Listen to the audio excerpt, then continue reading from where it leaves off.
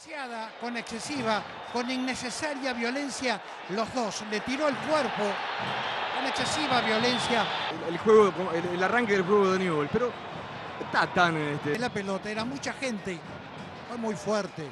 Excesivo uso de su cuerpo contra el defensor.